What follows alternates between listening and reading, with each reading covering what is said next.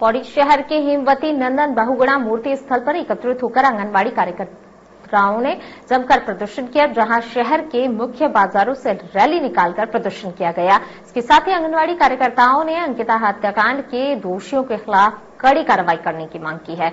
इस दौरान पूर्व जिला पंचायत अध्यक्ष सहित अन्य लोग मौजूद रहे।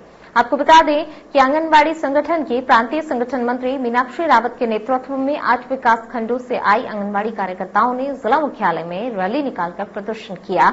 इस दौरान उन्होंने मांग रखी कि प्रदेश सरकार जल्द से जल्द फास्ट ट्रैक कोर्ट के माध्यम से आरोपियों को फांसी की सजा दिलाए। इसके साथ ही पीड़ित परिवार की ज़िम्मेदारी प्रदेश सरकार को लेकर आंगनबाड़ी कार्यकर्ताओं ने मांग की।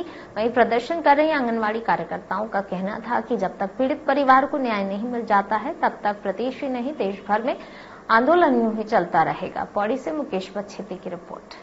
मैं उस उत्तराखंड से हूँ, जो बहुत सुंदर हमारा उत्तराखंड है, जहाँ पे माँ बेटी बहुत सुरक्षित रहती थी और आज नहीं है तो ये बड़ी शर्म की बात हमारे लिए है। और मैं ये भी कहना चाहूँगी कि बेटी बचाओ, बेटी पढ़ाओ मेरे ही विभाग से और हम लोग एक एक जन तक पहुँचा रहे हैं और आज हमारी वो योजना निष्फल हो रही है तो ये हमारे लिए एक शर्म की बात भी है। जनता के दिल में दुख है।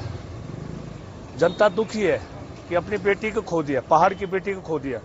और एक ही उनका एक उद्देश्य है कि हत्यारों को फांसी की सजा होनी चाहिए। और जब तक हत्यारों को फांसी की सजा नहीं हो जाती है, हमारा पूरे उत्तराखंड प्रदेश के जितने भी हमारे बच्चे हैं, बालिकाएँ हैं, हमारे नौजवान साथी हैं, हमारे बुज़ुर्ग हैं, सभी वर्गों के, सभी राजनीतिक दलों के लोग जो है, उनके अंदर भी एक पीड़ा है।